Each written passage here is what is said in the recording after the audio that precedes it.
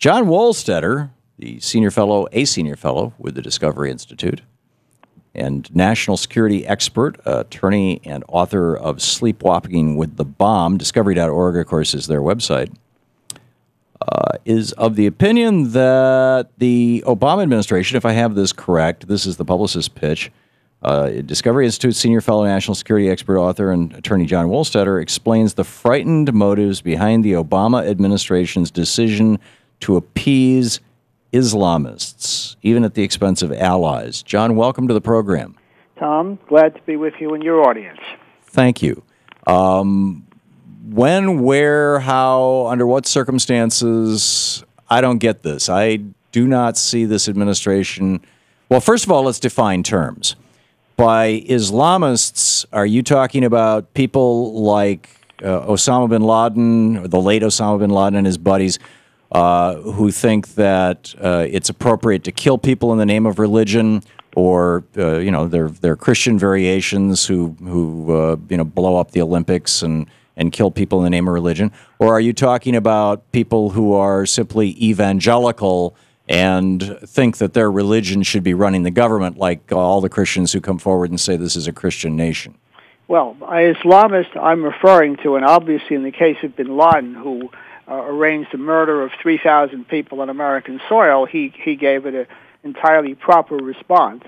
Uh, to uh, he gave him the kind of medicine he deserved, but I have in mind leaders of and their their factions who lead certain nations in the Middle East, in particular, I have in mind the the leaders in Iran after the fraudulent election in 2009, when instead of siding uh, and putting pressure on the regime, uh, he he uh, stayed aloof, allowed the regime to crush the rebellion in the hopes that he could negotiate uh, an, a nuclear accord, which had, I think, no plausible chance to succeed. In Egypt, he Mubarak was headed on the way out after 30 years of rule, but he uh, pushed for prompt elections. He being Obama.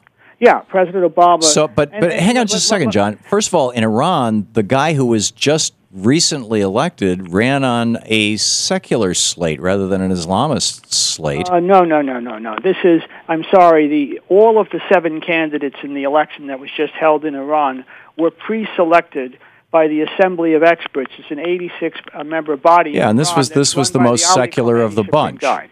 No, but none of them none of them should be thought secular like we are. They're all approved by the regime, and none of them are reformers in the sense that we would understand. Okay. He supports the nuclear policy. Are, are you suggesting that if if we had a president elected here in the United States who said that he was a Christian, he was going to allow Christianity to inform his values, he would, uh, in fact, even start a war and refer to it as a crusade, as George W. Bush did, that uh, for instance, Hindu, uh, you know, Hindu India would be justified in in coming in and taking out George W. Bush because they have to protect the world from from fundamentalist Christianity. We don't want any more Tim McVeighs.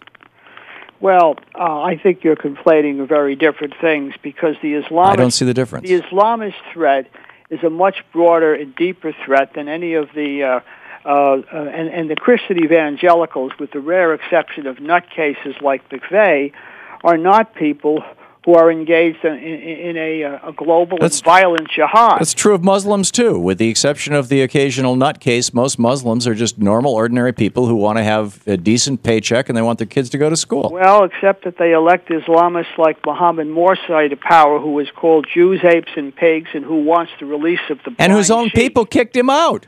Well, uh, They don't kept- want an well, Islamist they- in they charge. kept- They want a secular government. Well, the, uh, I would. How is this different from what happened in Massachusetts in the in the Look, you know in the in the decade assume- before the Thom, American Revolution? Thom, Thom, I would not assume that they are going to have a secularist government in Egypt. They are still a minority of the population. The reason that they kicked him out after a year is because his gross economic mismanagement has got the uh, the country immiserated uh, in ways that were unimaginable even to Egyptians a year ago.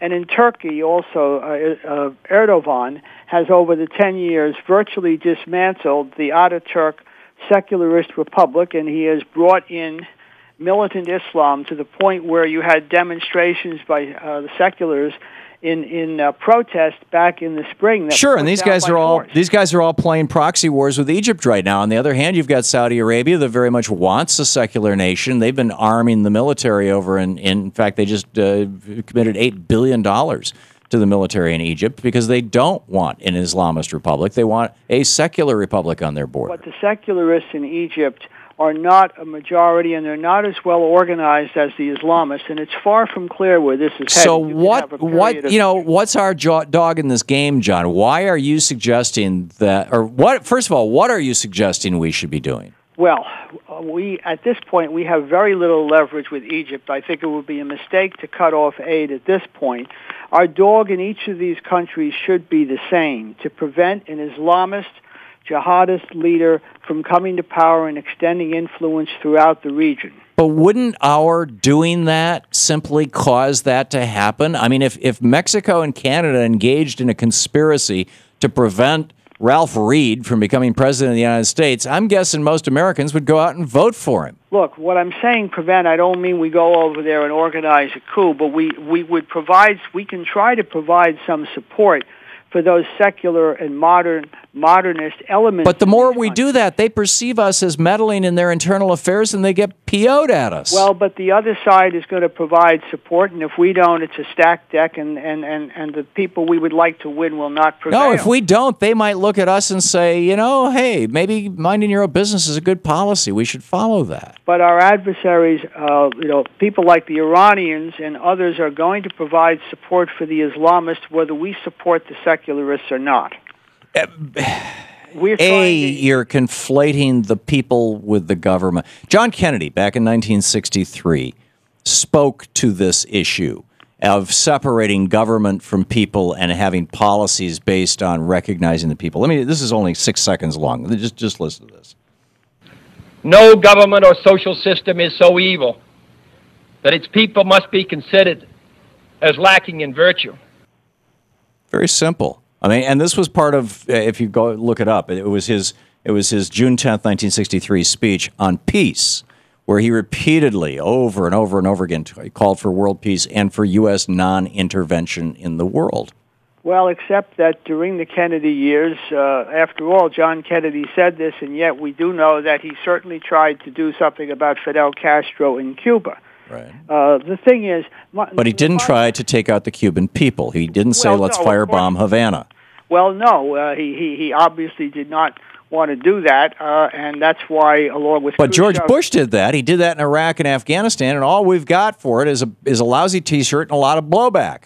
Well, look, we went into Afghanistan because terrorists that were housed there, that were uh, in bed with the Taliban government, came here. The Taliban offered to give us Bin Laden.